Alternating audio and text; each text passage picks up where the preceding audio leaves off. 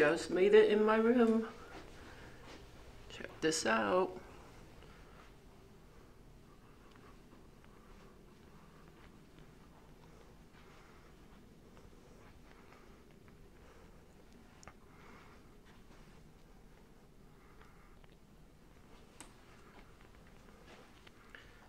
Nice big tub.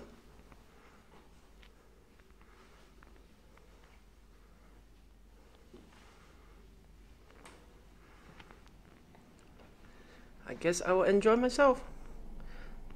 Talk to you guys later.